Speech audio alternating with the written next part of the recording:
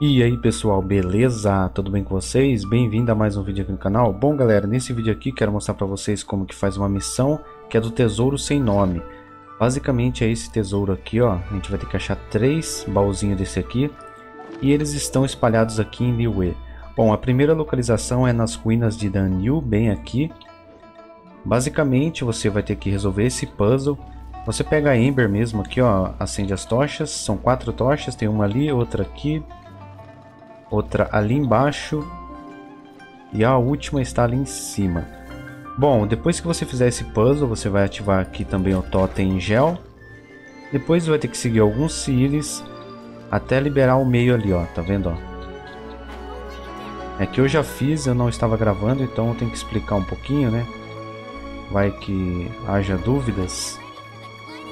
Aí depois que vocês acharam os três cílios que estão em volta aqui, Ali vai ter um, vai ter um desafio também para concluir, beleza? Agora então vamos para o segundo local.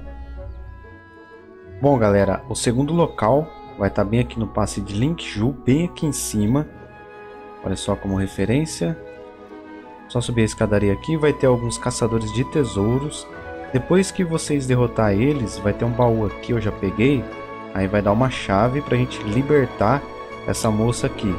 A gente vem aqui, ativa, a Aurane.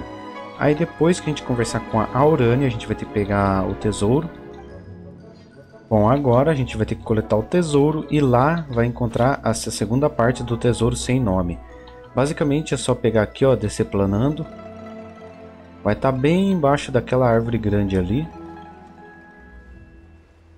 A gente tem que tomar um pouquinho de cuidado porque tem uns fatui ali, mas é só descer por aqui, ó. Vem por esse lado. Tá bem naquele montinho de terra que tá mexido ali debaixo da árvore. A gente nem precisa derrotar os fatores se a gente vir quietinho aqui, ó. Ó, a cava. Aí você já pega o tesouro. Olha só, pegamos o segundo tesouro sem nome. Agora vamos para o terceiro local. A terceira localização fica bem aqui na piscina de King Shu. O que a gente vai fazer é utilizar um personagem do elemento gel para ativar esses símbolos. Ó, cada torre aqui vai ter um símbolo, ó, tem uma torre ali com um símbolo lá, beleza?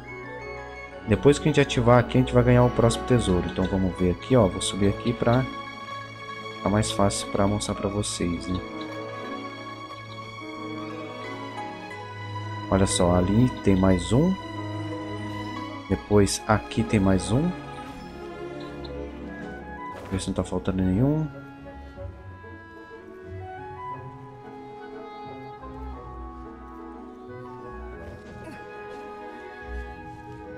Bom, depois de ativar as torres, a gente vai vir aqui no meio.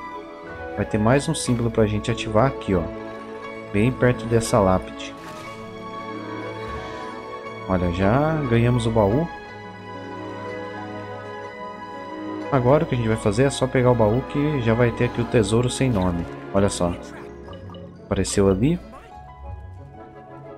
Agora é só vocês voltar aqui para o porto de Liyue, bem nesse teleporte aqui em cima, beleza? A gente vai vender esse tesouro aqui para uma comerciante. Lembrando que tem que estar à noite, então vocês coloquem às 18 horas. 18 ou 21 horas, eu não lembro direito, mas é essa comerciante aqui, ó. A Liang Glang. Conversando com ela vai ter a opção sobre os tesouros sem nome.